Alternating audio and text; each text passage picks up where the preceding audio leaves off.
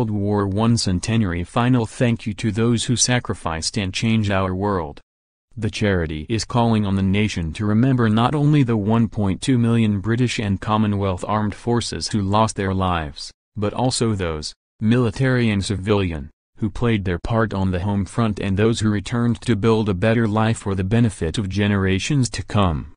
During the last 100 days of the centenary from 08 August to 11 November, the Legion is inviting the British public from all cultures and faiths, community groups, schools, companies and sports clubs to join the movement to express their gratitude to those who gave themselves to the war and its aftermath, and rebuilt a better nation from its darkest hour.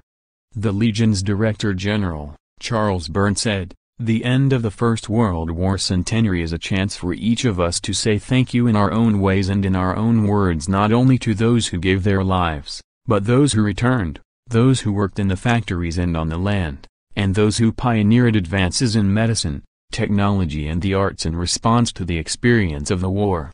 Whilst the 100th anniversary of the armistice that ended the fighting 100 years ago marks a poignant time of reflection, it is also a time to look forward to the future with the promise to make it a better place.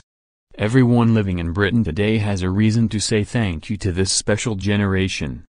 The Legion is asking the nation to plan their thank you activity to take place from the 8th of August onwards, while the first day of daylight savings, itself an outcome of the First World War, will be a focus for thank you activity on Sunday, October 28th.